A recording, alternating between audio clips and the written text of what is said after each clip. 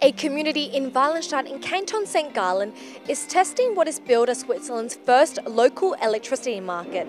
About 37 households in the district of Schwemmiweg are producing their own solar power, and any excess that is created can be digitally traded with their neighbours just by using blockchain technology. But the real question now is can this project really be a springboard for similar projects to follow in Switzerland?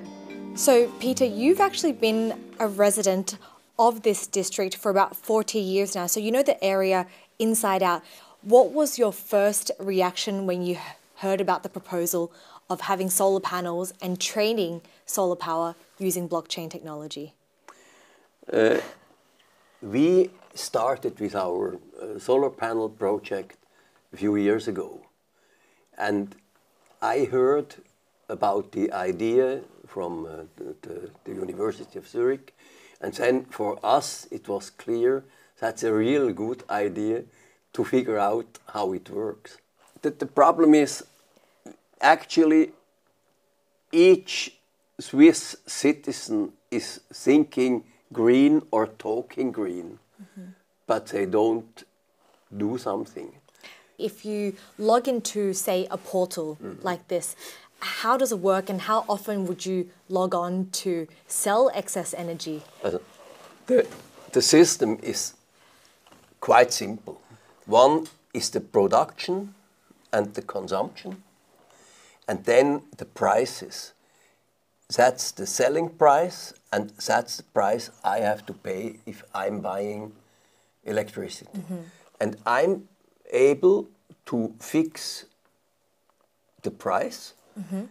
uh, for example, it's quite quite easy. I go here. How do you decide how much to set it at? I don't know. We we had a discussion. Yeah. What's the reality?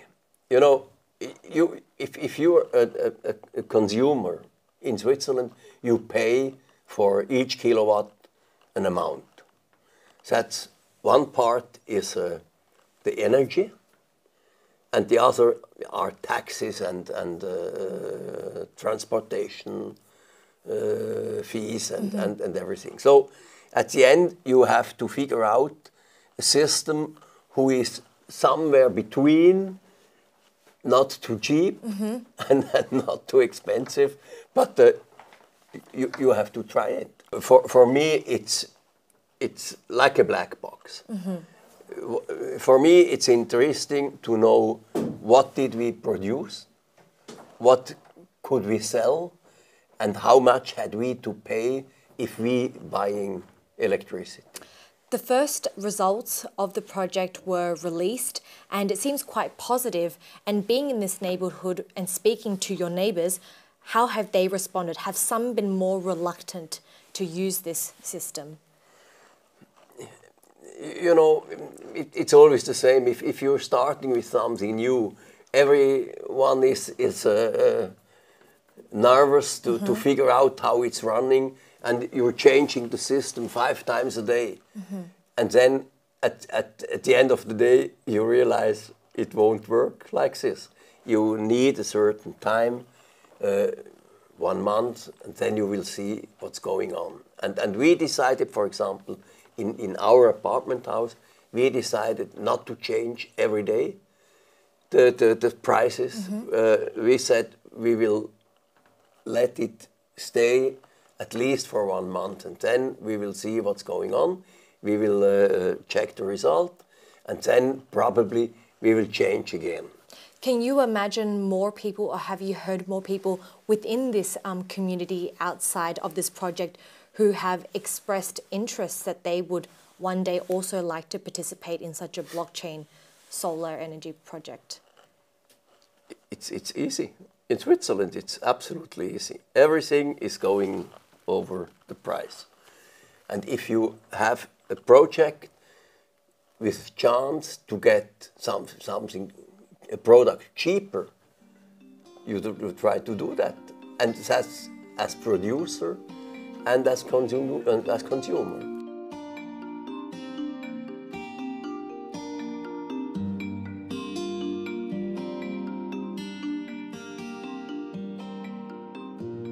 how are utility companies responding to this? Some of them might not be taking this too well. It depends how much grid you own. I mean, we, we in Walenstadt, we have uh, we, we own just a little bit of the grid. Uh, I mean, the, the, the, infrastructure based on this project that that's belong to us, and we will get as well uh, paid for that, for that use. But let's say when the community is uh, self, if the self-consumption is high, so we don't need the we don't need the energy come the whole way from from the mountains to Walenstadt. So we have less logistic, and with this uh, little logistic, there are the costs as well lower. But if because it stays here. But if you eliminate all the middle players, yeah. and now it's just peer to peer, yeah. how are the big companies supposed to, or energy providers supposed to be dealing with that? Can it be threatened in the future? I guess. I mean, it could happen. The big dealers, they are not, they are not very happy with it. That's clear. But let's put it that way: electricity, it's a very, very high community. It's very, very, uh, very. Uh, it's a, it's a very high commodity, and this commodity, you cannot, you, you cannot charge as much you want, and, and there's no place for a lot of dealers between. So I think it's quite interesting if you bring a technology which brings the production together really close together with the consumption and uh, you make it very high efficient, you make, it automatically and the process is very high efficient and uh, at, the, at the end on, on, on such a process you, you, you, you but it's not all good news for you because even if you do see positive results from this mm. pilot, mm. there are still regulatory hurdles. Yeah, by now the, the law is written like that. If you if you if you get if, if you take energy out of the infrastructure, you always pay the whole bill for the whole infrastructure. You pay the whole way from the centralized production uh, and, until the, the in, uh, in energy arrives at your household. And our our idea is more to, to, to bring up the self-consumption. So you produce decentralized, you you consume decentralized, and at, by that by that time you have less logistic costs. And from a very basic level, how do you in your role actually get people in the neighborhood to try and adopt such a new technology? I think that's very easy. They don't have to deal with blockchains at all. They have a web interface and they they, they just uh, they bring on their their their needs. Like they bring on their prices for production and consumption prices, and uh, so it works pretty much automatically. So for them, it's quite easy. How much does a blockchain project like this help to bring down costs for consumers or for these households? I think by the end of the by the end of the year, it would be possible to reduce the cost. It's just it's a hard question. It always depends on how much production you have and how much consumption. But I would say roughly, uh, it would be around ten percent by the by the yearly cost, which you can bring down. Can you realistically see this being implemented on a wider scale, or will it always be limited to just smaller communities who can operate on a private network? I'm pretty sure that will happen. I mean, we come out from a from a from a monopoly, and it it breaks up by part uh, part by part every year, and we end up more and more in a free market, and there's a lot of space and room for innovation in free market in monopoly, mm -hmm. there is not much space for innovation because the laws there are quite strict there. So, quick question: um, abroad, we've seen this uh, kind of blockchain-fueled energy projects in Australia, yeah. in the US, yeah. Germany as well, yeah. and in the UK. How does this project compare to those? Yeah, I mean, by us, we have the holding in it. It's not just energy; it's energy and the infrastructure, and as well all the taxes. So by us, the, the whole project or the, the, the bills by end of the year, we, we, we have really, we have all in. In New York, for example, it's just the renewable energy part of the project, not the infrastructure.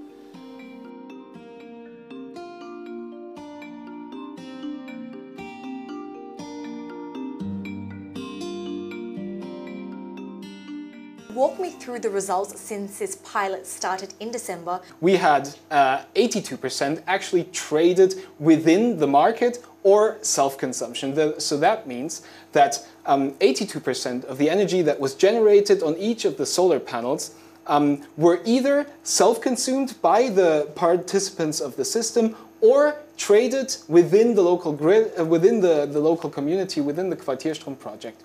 And 18% had to be fed in back into the, to the Walenstadt um, grid and get remunerated by the, by the actual um, feed-in tariff. This trading is only enabled because you're adopting blockchain technology. So just tell us exactly how is it being incorporated and what was the decision taken to actually use this and not just have a regular marketplace operating? So for once, this is a hot topic, of course. Uh, in 2016, the Brooklyn microgrid started off with this, and it just started a kind of thinking of, of going to a consumer-focused um, world of, of electricity trading and bring the actual energy trading to the end consumers and to the local producers like prosumers.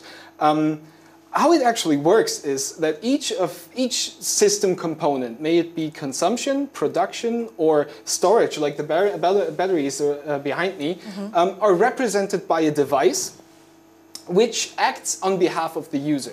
The user sets their price, and the devices every 15 minutes say, okay, I consumed or produced um, this much kilowatt hours, and I will now push it to the market. The market gathers all of these orders and kind of like a stock market trading engine, um, it matches buy and sell orders into trades, into agreed amounts of units of energy within our system and an agreed price. How much uh, are people using just normal electricity and how much is solar generated? On the average household? So this is considered the autarky of, of, of, the whole system. In general, for the first two weeks of February, which was the term that we evaluated, 25% of, of the energy was completely produced and consumed um, here in, in, in, the Quartierstrom uh, field test. So all 25% of the energy that was consumed was covered by their local generation. This pilot is going to be lasting for one year, and so by the end of December, it will wrap up and you'll already have a year's worth of data. What will it take for you to be deeming this a successful blockchain solar energy pilot? So there's, this is a multifaceted question in the way that it starts with the users who either accept the system or not, who want this to go on and who, who really pull for a market like this, um, then whether they actually like accept the way of setting prices for buying and selling energy. And of course, the data set itself for researchers like us, it's extremely valuable because we then can then do our forecast scenarios based on, on real data, and this is really rare. Um, on the other hand, for the blockchain part, um, the evaluation of necessary infrastructure is incredibly really valuable to us because we can think of scenarios where we, we can then decide is this technology that we sought out for, for the Quartierstrom project viable for another kind of quartier, for mm -hmm. another kind of area, and um, then deem, okay, we could then move this project onto another, to another part. The Swiss Federal Office has said that even if the pilot does turn out to be feasible, there are still some things to consider, like the regulatory framework. The pilot is expected to wrap up in December of this year, but until then, Trading solar energy on the blockchain is just going to be a regular pastime for residents of Schwemmiweg.